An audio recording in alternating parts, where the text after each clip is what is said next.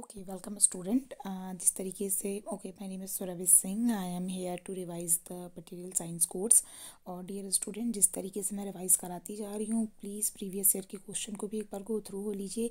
ये वीडियो देखने से पहले मैं आपको बहुत क्लियर कर देना चाहती हूँ कि मैं आपको डिटेल में इन्फॉर्मेशन नहीं दे रही हूँ। ये एक रिविज़न क्लास है जो स्टूडेंट्स की डिमांड पर मैंने बनाया हुआ है मटीरियल साइंस का। तो अभी मैं बात करती हूँ यहाँ पर फेरो इलेक्ट्रिक और फेरो मैग्नेटिक की। से कंपैरिजन बेसिस पे ये क्लासेस है तो आपको समझने में बहुत आसानी होगी। तो ये क्या होता है, जो फेरो इलेक्ट्रिक होते हैं, ये क्या होता है कि आपका हिस्ट्रेसिस कर्व को फॉलो करते हैं। हिस्ट्रेसिस कर्व का मतलब है कि जिस पाथ से इलेक्ट्रिक फ़ील्ड बढ़ने पर पोलराइजेशन होगा सेम उसी पाथ को ये फॉलो नहीं करेगा, ये कोई और पाथ फॉलो करेगा अगर हम इलेक्ट्रिक फ़ील्ड को कम करते हैं तो। तो यहाँ पे पोलराइजेशन का फॉर्मूला होता है epsilon naught C T minus theta theta जिसको हम बोलते हैं क्यूरी विस लॉ भी, इसके एग्जांपल आपके आ जाते हैं। B A T I O three P P T I O three K T P alum sodium nitrate rocket salt but एक टेम्परेचर आता है थी उसको हम बोलते हैं क्यूरी टेम्परेचर क्यूरी टेम्परेचर के बाद जो है, हमारा जो भी आपका फेरो इलेक्ट्रिक है, वो क्या होता है? पीजो इलेक्ट्रिक की प्रॉपर्टी को शो होने शो करने लगता है।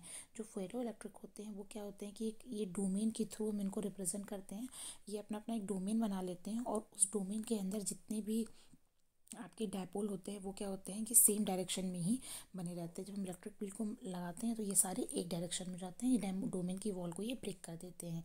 सेम इसी तरीके से फेरो मैग्नेटिक में है। इसमें इलेक्ट्रिक मैग्नेटिक फ़ील्ड और आपका मैग्नेटिक इंटेंसिटी के बीच में ये ग्राफ शो होता है। और ये क्या हो जाते हैं कि क्यूरी टेम्परेचर के ऊपर पैरामैग्नेटिक बिहेवियर शो करने लगते हैं। तो ये चीज़ मत भूलिएगा बिल्कुल भी आप लोग कि यहाँ पर पीजो शो कर रहे हैं और यहाँ पर पैरा शो कर रहे हैं। तो ये कुछ क्यूरी टेम्परेचर हैं जो कोबाल्ट, आयरन, निकिल के बताए गए हैं। Fourteen zero four, thousand forty three, six thirty one. ये बहुत ही इंपॉर्टेंट है क्यूरी टेम्परेचर, ठीक है? तो ये चीज़ आप ध्यान रखिएगा। ये क्वेश्चन आपके आ सकते हैं। इलेक्ट्रॉनिक्स में ऐसे क्वेश्चन बहुत ही ज़्यादा पूछे गए हैं। तो नेक्स्ट टॉपिक में शुरू करती हूँ। होपफुली आपको इन दोनों कंपैरिजन की बेसिस में समझने में आसानी हुई होगी। ये फेरो इलेक्ट्रिक ये ferro magnetic now I am talking about anti ferro and sorry student there is some issue okay anti ferro and anti ferro electric and anti ferro magnetic में कंपैरिजन है।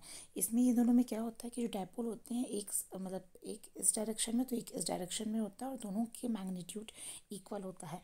ये क्या करते हैं ज़ीरो स्पॉन्टेनियस पोलराइजेशन को show करते हैं। ये एंटी पैरेलल अलाइनमेंट होते हैं सेम प्रॉपर्टी है। अप टू फेरो मगर anti ferro up to critical temperature और उसके बाद ये पीजो इलेक्ट्रिक शो करते हैं। याद रखिएगा पीजो इलेक्ट्रिक किस टेम्परेचर के बाद? नील टेम्परेचर के बाद। Anti ferro up to critical temperature call Neel temperature जबकि अगर हम सिर्फ़ फेरो इलेक्ट्रिक और फेरो मैग्नेटिक की बात कर रहे थे तो वहाँ पर क्यूरी टेम्परेचर आ रहा था।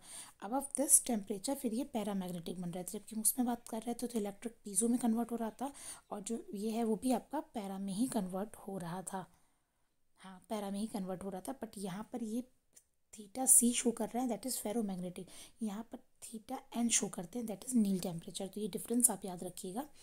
नाउ एंटी फेरो मटेरियल के लिए कुछ कुछ वही सेम चीज़ें हैं. The material process zero spontaneous polarisation anti ferro up to critical temperature and अब this this is pyro electric leads zirconate sodium nitrate A D P ये इसके एग्ज़ाम्पल हैं. एग्ज़ाम्पल आप ज़रूर याद कर लीजिएगा. एग्ज़ाम्पल बहुत बेनिफिशियल होते हैं। पैरा इलेक्ट्रिक मटेरियल के बारे में बात करते हैं तो ये परमानेंट डायपोल को रखते हैं ज़ीरो स्पॉन्टेनियस पोलराइजेशन शो करते हैं। ज़ीरो स्पॉन्टेनियस पोलराइजेशन का मतलब ग्राफ ऐसे होगा। Under the influence of electric field all the dipole get aligned in the field direction and result is non zero polarisation ठीक है? एग्ज़ाम्पल क्या है आपका? सिरेमिक मटेरियल जब सब एक डायरेक्शन में अलाइन हो जाएँगे तो ये नॉन ज़ीरो पोलराइजेशन शो करेंगे। प्रॉपर्टीज़ याद रखिएगा। आप जैसे यहाँ पे रॉकेट सॉल ये आपके पीजो इलेक्ट्रिक मटेरियल हैं, ये क्या होता है कि यहाँ पे दो टेम्परेचर है। जिस टेम्परेचर के बाद ये आपके दो क्यूरी टेम्परेचर है minus eighteen degree centigrade twenty three degree centigrade है, ठीक है? इसको हम क्यूरी टेम्परेचर कहते हैं। के डी पी है, ये भी आपके क्यूरी टेम्परेचर को शो करता है। One twenty three degree centigrade पर इसकी प्रॉपर्टीज़ बदल जाती हैं। तो ये सारे आप एग्ज़ाम्पल याद रख लीजिएगा। क्वाड, सबसे अच्छा एग्ज़ाम्पल है piezo electric piezo electric material का सिलिकेट टेट्राहेड्रल मतलब इसका एग्ज़ाम्पल है। Hexagonal prism with pyramidal attach at both side ठीक है? और AT cut making angle thirty five degree तो यहाँ पर क्या आता है कि ये दो कट माने जाते हैं AT cut and BT cut ठीक है Y cut AT cut and Y cut तो एटी कट जो है वो थर्टी फाइव डिग्री पे सेम ऐसा क्वेश्चन पूछा गया है कि कित एटी कट कितने एंगल पे लगता है? तो यू विल से जो एटी कट है वो आपका thirty five degree fifteen angle पे लगता है जेड एक्सेस के साथ लगता है, ठीक है? और ये यूज़ करते हैं हम कहाँ पर? हाई फ्रिक्वेंसी स्टेबिलिटी में यूज़ करते हैं वाइड रेंज में. जो बी टी कट होता है वो फोर्टी नाइन डिग्री पर लगता है जेड एक्सेस के साथ ही है, ठीक है? और ये क्या होता है? क्रिस्टल विथ हायर फ्रिक्वेंसी ये जैसे use for crystal with higher frequency than AT तो ये सिर्फ़ इंपॉर्टेंट पॉइंट्स लिखे हैं जो एग्ज़ाम में अभी तक पूछे गए हैं। सॉरी uh, स्टूडेंट ये थोड़ा सा आगे आगे ये स्लाइड मेरी हाँ यहाँ की बात कर रही थी मैं। तो यहाँ पर ये चीज़, ये आप, ये प्लीज़ इसको याद रखिएगा, ये तो बहुत ही बेनिफिशियल है। और यहाँ पर अगर हम बात करते हैं कि जैसे जैसे हमारा क्यू एफ़ फैक्टर बढ़ता जाएगा ट्वेंटी थाउज़ेंड थर्टी थाउज़ेंड हुआ वैसे वैसे हमारा ग्राफ क्या हो जाएगा? शार्प होता जाएगा। ठीक है quality factor Q F is representing by quality factor ये ट्वेंटी थाउज़ेंड से टू लाख के बीच में इसकी वैल्यू होती है।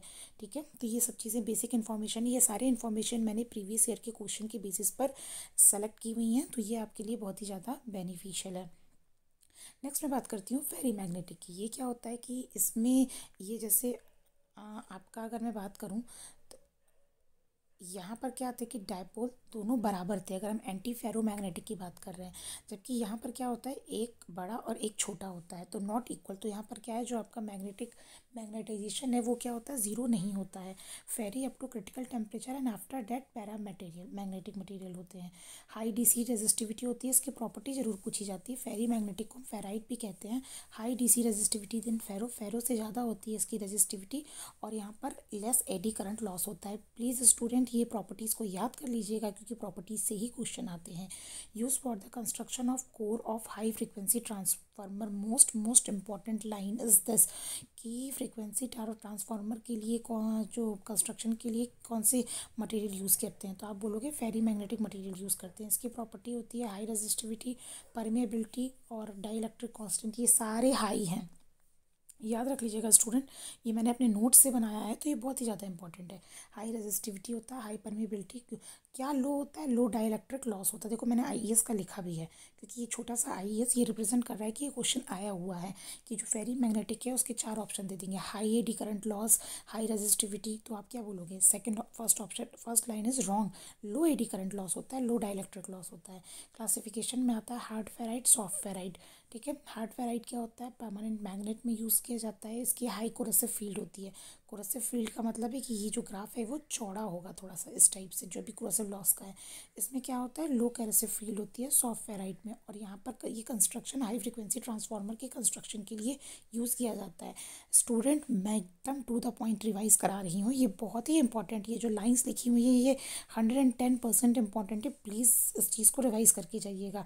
अब एग्ज़ाम्पल में पूछ दिया जाएगा कि निकल जिंक फेराइट किसका एग्ज़ाम्पल है? हार्ड फेराइट का है सॉफ्ट फेराइट का? Then you will say this is the example of soft ferrite तो होपफुली आपको ये चीज़ क्लियर हो गई होगी।